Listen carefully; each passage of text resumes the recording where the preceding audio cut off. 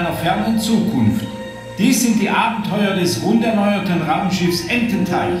Es hat viele Lichtjahre hinter sich gebracht, um fremde Welten und unbekannte Lebensformen zu entdecken. Die Besatzung dröhnt dabei Galaxien vor, die nie ein Mensch gesehen hat. Immer auf der Suche nach einem geeigneten Platz für ein interstellares Treffen.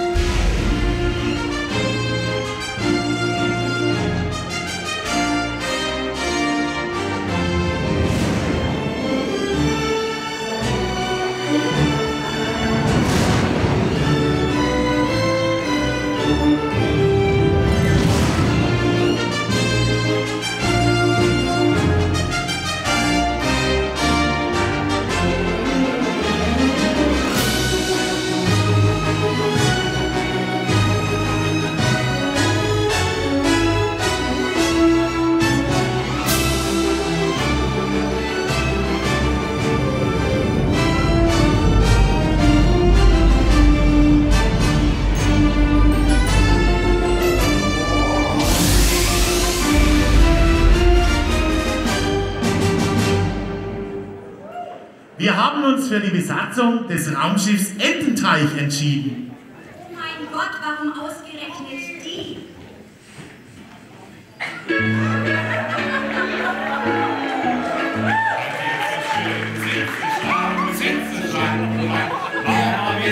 And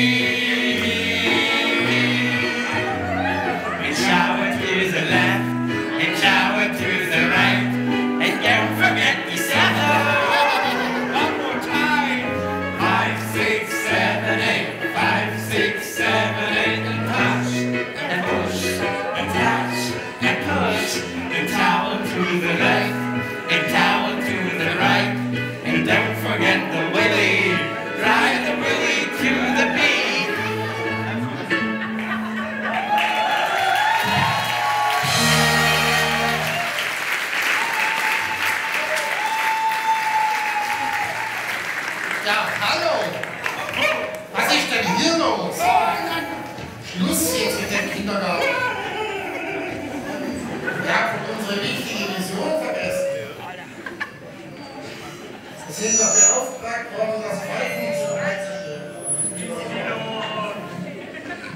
Sind doch beauftragt worden, einen geeigneten Platz für ein interstellares Treffen zu finden. Seid dazu nicht? Überprüfen Sie den Monitor. Was ist das? Für ein Startzeichen, ein Da vorne sehen Sie den kleinen und den großen Wagen. Ja, ja.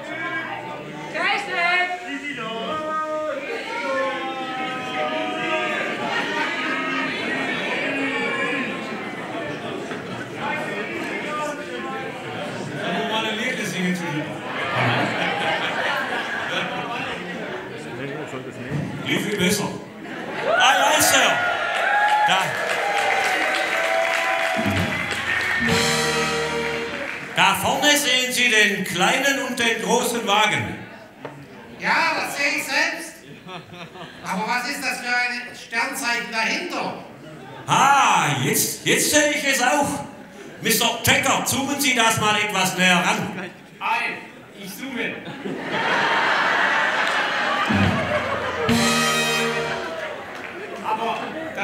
Das Sternzeichen Hutz, Hutz, Hutz. Da kann ich doch nicht noch näher ranzoomen. Ranzoomen geht, Mr. Checker. Aber auf keinen Fall zu dicht ranfliegen. Warum nicht? Ist das etwa eine Art schwarzes Loch? Nein, nein, Captain. Aber unsere Lebensformen können in dieser Atmosphäre nicht atmen.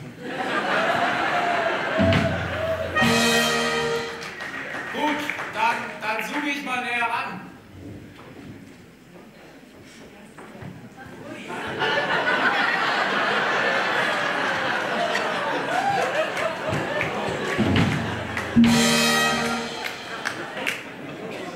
Bei allem Respekt, Mr. Spook. Aber diese Kreaturen sehen doch unserer Lebensform zumindest sehr ähnlich. Sind Sie sicher, dass es so eine unmenschliche Atmosphäre ist. Mr. Scotch, das bin ich. Diese Individuen brauchten Jahrhunderte, bis sie sich an diese unwirtliche Umgebung so saugut angepasst haben. Wenn Sie das sagen, ist das Buck.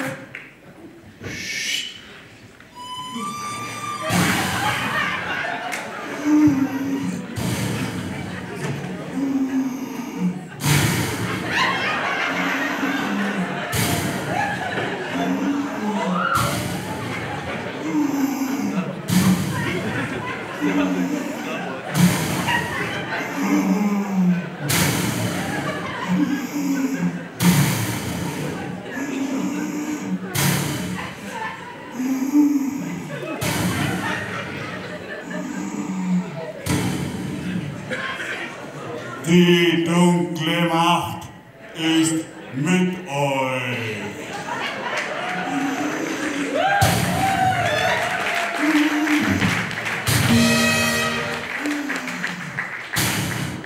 Wo ist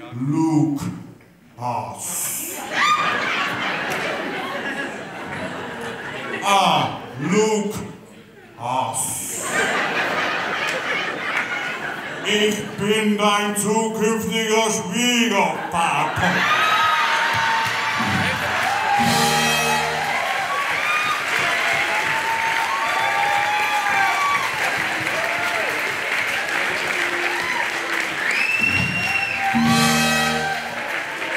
Komm zu mir auf die schwarze Seite der Macht. Nein, ich will nicht. Ist aber blöd. Das hat man davon, wenn man sich auf so eine interstellare Beziehung einlässt.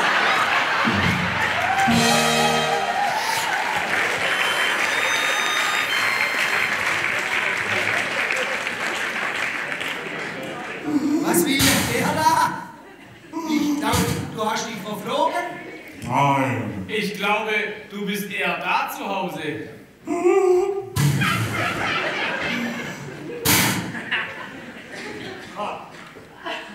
Ich weiß nicht, wann ihr sich aufregt auf dem Raumschiff. Ich komme nicht von dem Planet. Ich bin der Ralf vom Wieler. Eigentlich, da war ich nur wieder den Lukas fragen, ob er bei mir bei der CDU mitmacht.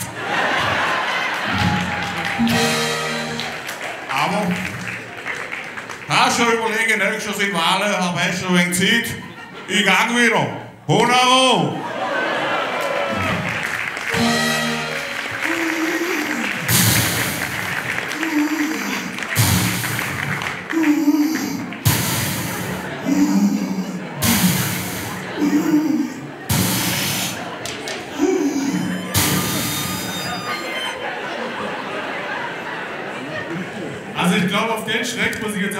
Trinken.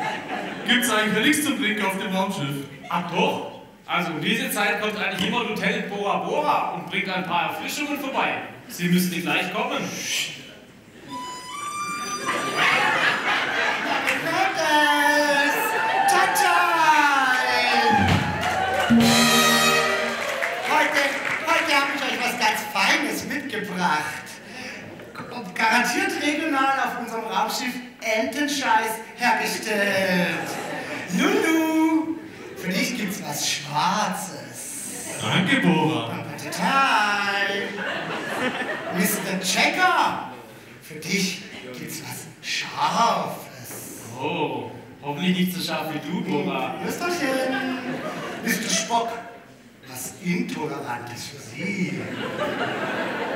Faszinierend. Und für unser Pfeifchen gibt's ein Weizchen.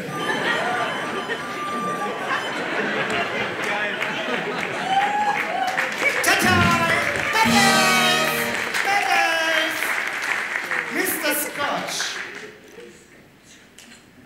Danke, Schätzchen. Cheerio.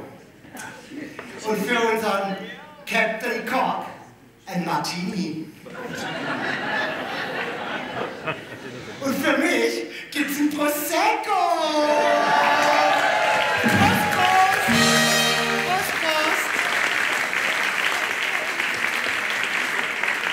Vielen Dank, Oma. Wie gewohnt, alles frisch. Sehr gerne. Nichts liegt näher. Ciao, ciao.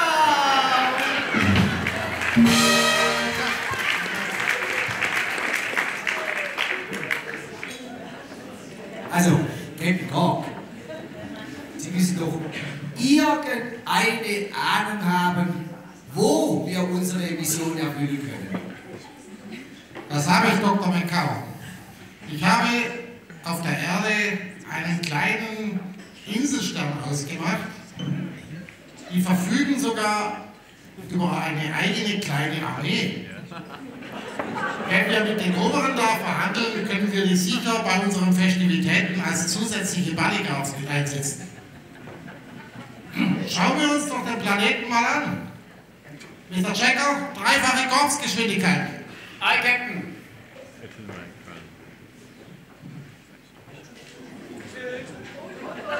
Dreifach. Energie. Achtung, Mr. Checker, ausweichen! Hätte der machen. Ups, Entschuldigung. Aber warum so panisch, Captain? Hätte dieser kleine Stern so viel Schaden anrichten können? Mr. Checker, das ist kein einfacher Stern. Das ist eine eigene Galaxie. Wenn wir da einmal drin sind, finden wir nie wieder hinaus.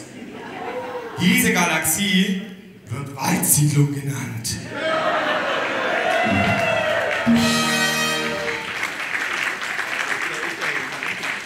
Dann lassen Sie uns gleich weiterfliegen, Mr. Checker. Hi, Captain.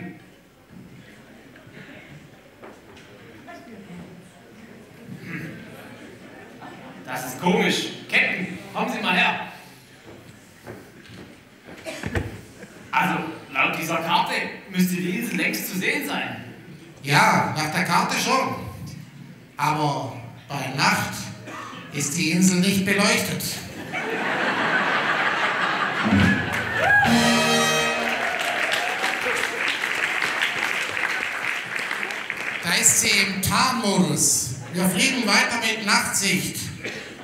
Energie! Hi, Captain.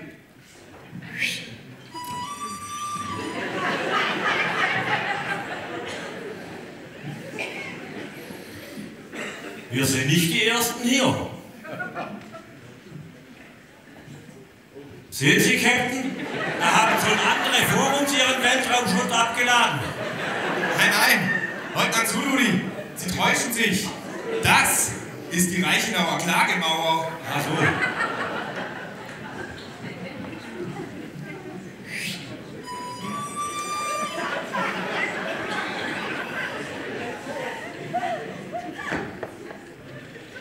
Captain, meine Messinstrumente zeigen an, dass an manchen Stellen dieser Insel Klingonen wohnen.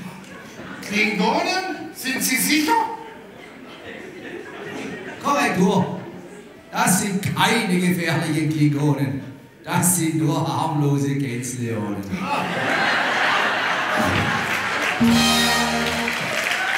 Faszinierend.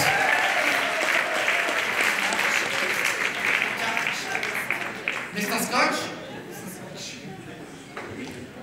Sobald wir nah genug dran sind, zoomen Sie den Machthaber dieses Inselsterns zu uns auf die Brücke. Hi, Captain.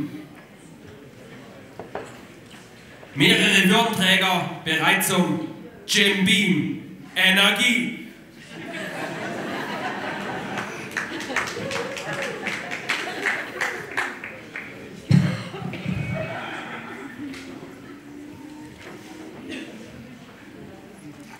Wie fortschrittlich! Ihr regiert zu dritt? Nein, ich bin der Bürgermeister. Ich habe das Sagen hier.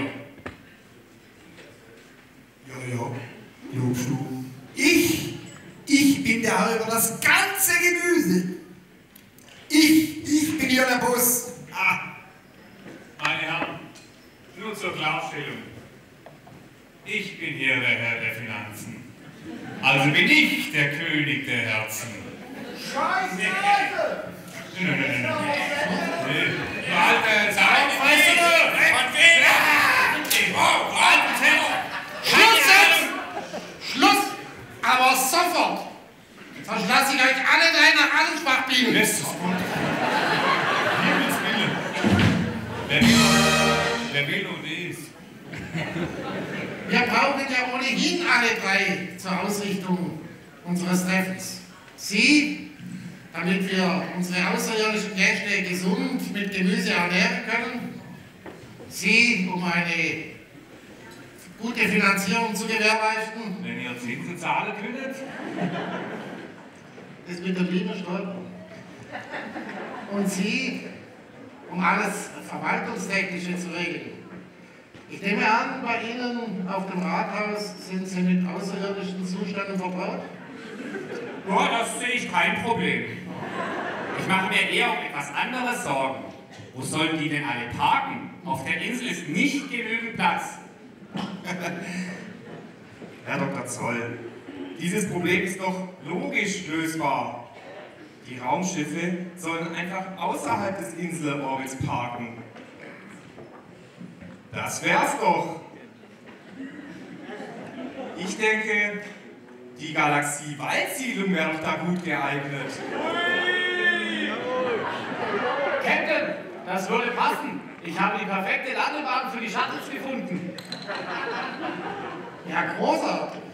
Sie sind ja perfekt auf den Besuch von Außerirdischen eingerichtet. Ja, das sind wir absolut. Wir haben sogar einen eigenen Weltraumbahnhof. Sagenhaft.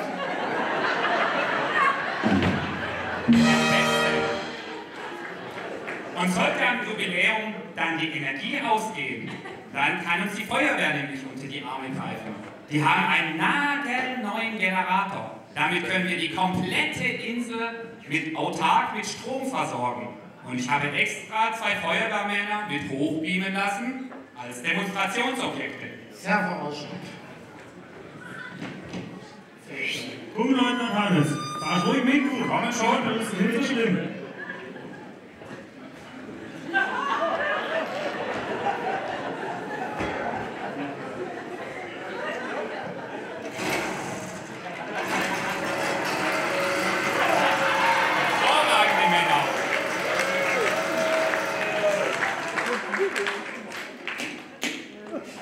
Du Schießdreck, besprit dich alle.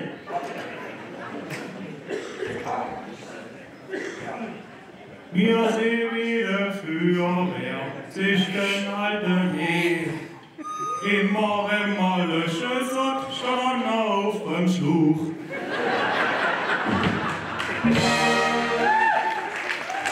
Das ist jetzt unangenehm. Machen Sie sich nichts draus. Das kann passieren. Und bis zu den Festivitäten bekommen wir das sicher geregelt. Aber ich denke, Sie sind unsere Rettung. Dank Ihnen kann, kann unser interstellares Treffen stattfinden. Mr. Checker, schicken Sie die Einladungen raus. Am 16.02. Punkt 6 Uhr geht es los. Hi, Captain. Ich denke, die Mission ist erfüllt. Habt ihr sehr gut gemacht. Jetzt habt ihr euch auch ein Tänzchen verdient. Aufgesperrt, Abstellung.